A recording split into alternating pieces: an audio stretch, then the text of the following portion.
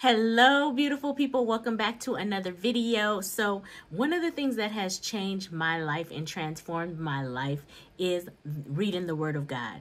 When you spend that time with God, um, in His Word, allowing Him to speak to you, um, and just really getting it into your spirit, it can totally transform your life. In my 20s, one thing I used to do or read was a daily dev- devotional. And I used to read it from a website called BibleResources.org. Um, and shout out to Miss Betty Miller, who is the owner of uh, the website. I believe it's her and her husband. Um, and it totally transformed my mind, my spirit, everything in my 20s. And now that I'm 41, I can't believe I'm 41. But now that I'm 41, um, I feel like I want to share this with everybody because I am doing my daily devotionals. I told you guys I was going to start showing up more on YouTube, sharing my knowledge, um, things that I feel like God has laid upon my heart. Um, and then all the stuff I know, all the stuff, right? Health, God first, health, wealth, happiness, all that good stuff, right? Um, so let's go ahead and get to the Bible reading, the uh, daily devotional, because I have not done it yet today. Um, and so why not do it with you guys? Okay. So today is um, October 28th. It's Monday. Happy Monday to everybody.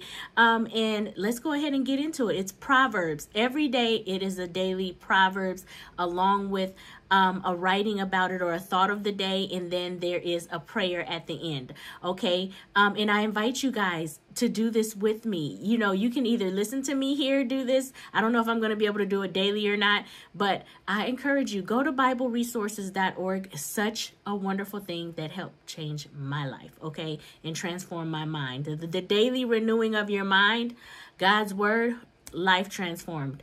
Period. Okay, so let's go ahead and get into it. So Proverbs, um, God's wisdom for is is the book of God's wisdom for daily living. Um, and then today's scripture is Proverbs 27, verses 5 and 6. It says, Open rebuke, and this is the King James Version I'm going to read from first. Open rebuke is better than secret love. Faithful are the wounds of a friend, but kisses of an enemy are deceitful. Proverbs uh, 27 verses 5 and 6 the amplified version says it like this open rebuke is better than love that is hidden. I'll say that one more time. Open rebuke is better than love that is hidden. Faithful are the wounds of a friend but the kisses of an enemy are lavish and deceitful. Mmm, deep right? Thought of the day. It is far better to receive the honest rebu- rebuke of a friend than the insincere compliment of an enemy. True friends always desire the very best for us and are a gift from God. They love us at all times, even when we are not so lovely, and will stand with us through adversity. A friend loveth at all times, and a brother is born of adversity. That's Proverbs 17 17. They know us better than any acquaintance, for they see both our good and bad sides. Their speaking the truth when we need to hear it is a precious gift which we could be foolish not to accept. Their correction may wound us. They say the truth hurts, right? The, their correction may wound us, but the, the but this act of love can spare us trouble and pain in the future. Speaking the truth in love is a kindness that can keep us from going astray and help us to mature in Christ. And just a side note, how many of us have wanted to tell the one we love, our friends, the truth so bad, and it was like, oh, if I tell them this is going to upset them. But then out of love, you did it anyways and it made an impact in their life, even if they were upset with you for a little while, right? So sometimes we have to do that, and sometimes we have to receive that at the same time. Um, so here, let's see, where was I? Um, okay, okay, so, so start again. That we henceforth be no more children, but speaking the truth in love may grow up into him in all things, which is the head, even Christ. And that's Ephesians 4 14 and 15. and I'll read it one more time, that we henceforth be no more children, but speaking the truth in love, may grow up into him in all things, which is the head, even Christ. Okay? Maintaining friendship requires time. To have friends, we must be friendly and nurture our friends with kindness. We see into the souls of our friends by spending time with them. Because the Lord Jesus is in the midst of us, there is a deeper dimension to our Christian friendships than with others. A friend in Christ is among God's greatest blessings. Proverbs 18:24 reveals that there is a friend that stays even closer to us than a brother. And that friend is Jesus. A man that hath friends must shew himself friendly, but there is a friend that sticketh closer than a brother.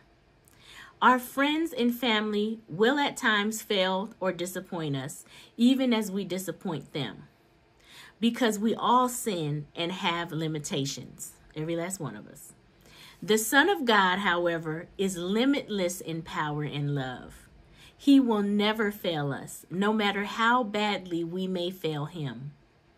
Friendship with Jesus has no constraints. He is always here for us. And you if you know him, you know that to be true.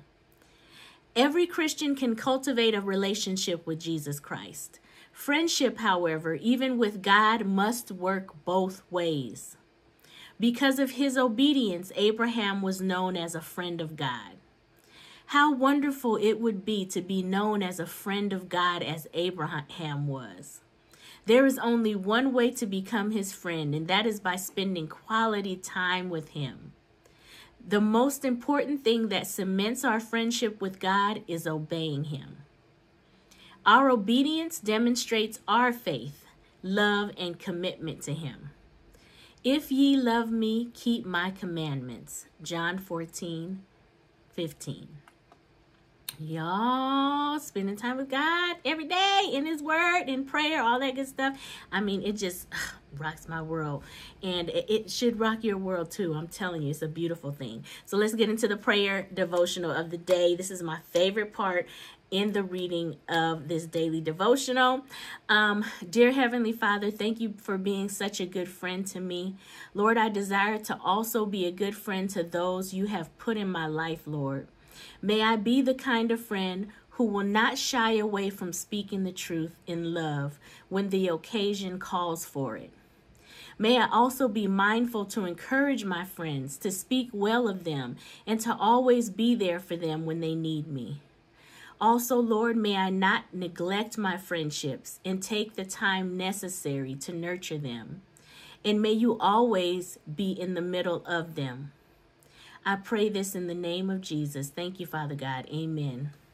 Amen, y'all. I hope that that that word of the day, that proverbs, that daily devotional spoke to you, that it got into your spirit, that it was a word that you needed to hear, that it edifies and builds you up um, and that's it for now. I'm just I just wanted to share my daily devotional with you guys.